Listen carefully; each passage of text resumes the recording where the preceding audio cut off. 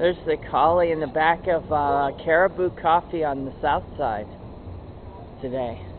What's happening? Right there in the gardens listening to the mushroom play music. Where's the garden? The gardens. Oh. And there's Nothing to see here, nothing to see here, no looking, nothing to see, nothing to see here. Give. okay.